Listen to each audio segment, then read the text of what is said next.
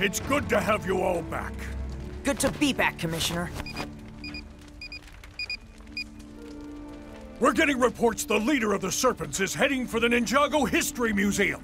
Her name's Aspheera, and she's deeply nuts. Whatever she's after, we better not let her get it. How can we help? Evacuate as many people as you can and set up a perimeter. We'll handle the rest. You heard him! We better get a move on.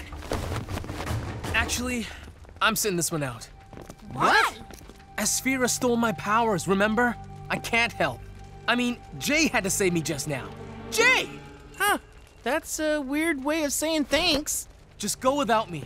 I'd only get in your way. Powers don't make a hero. Dude, that's just something people with powers say to make people without powers feel better. That's not true. We need you. We don't have time to argue. The people in that museum need help. She's right. We gotta go. If you change your mind, you know where we'll be.